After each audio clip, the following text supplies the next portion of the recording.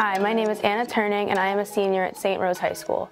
Growing up having a brother with autism has given me a huge heart for children with special needs and their families. Therefore, I am involved in the special needs community and I plan to be for my entire life.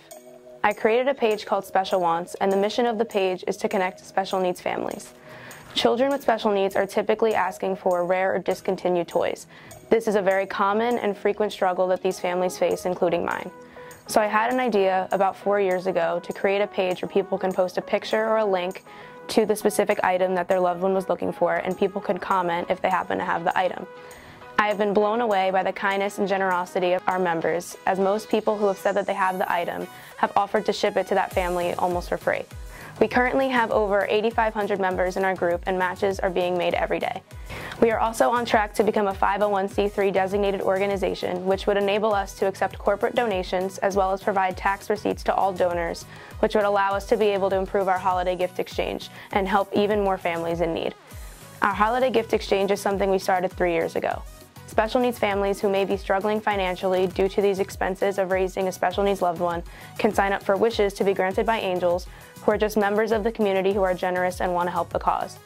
All three years we've been able to grant 100% of the wishes requested. As our group continues to grow, it may be harder to reach that goal without more significant fundraising and donations. So becoming a 501c3 is definitely going to help us.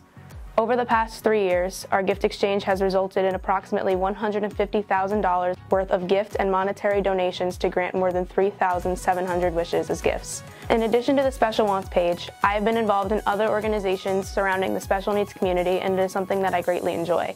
I was a featured speaker at the 2018 Autism New Jersey Conference and was also the 2018 Sibling Essay Contest winner for Autism New Jersey, so I got to read my essay at the conference during their Gold Members Luncheon. As a result of that lecture, I have also been invited to speak at three other schools this year, including my brother's school. However, the thing I enjoy most is spending time with my little brother and trying to be the best sister I can be. It's the least I can do because as you can see, he has taught me so much more than I could ever teach him.